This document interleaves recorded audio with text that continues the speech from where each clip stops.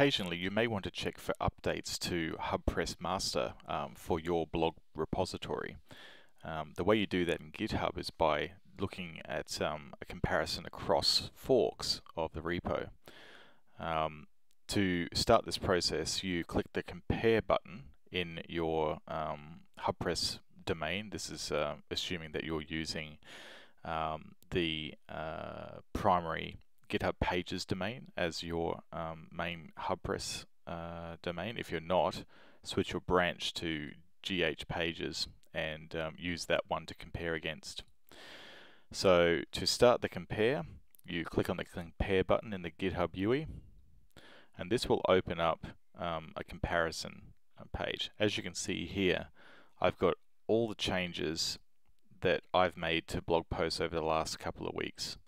Um, if you see this, you know that the you need to change the um, the base fork to the head fork because what you're seeing at the moment, uh, if you were to create a pull request at this stage, you'd be actually pushing all of these changes up into the root of the hubpress.io GitHub, um, and we would reject that pull request, of course. so what you need to do is you need to switch to your uh, repository as the base fork. And because you've done that, it thinks your uh, GitHub assumes you're comparing across um, your own repo, but you actually want to compare across forks. So you click this link, and then you change the head fork from your repo to the hubpress.io repo. Now, if there are any changes um, upstream, um, you'll see a, um, a note here with the changes. There should be uh, rather than seeing a full list of all your blog posts, there might be seven or eight changes to different parts of the HubPress repository.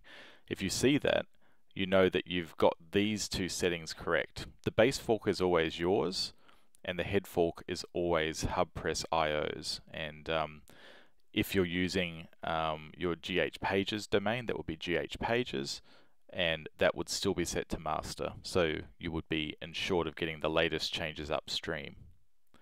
And that's how you do a, an update to your HubPress instance to get all the latest fixes that have been done from upstream.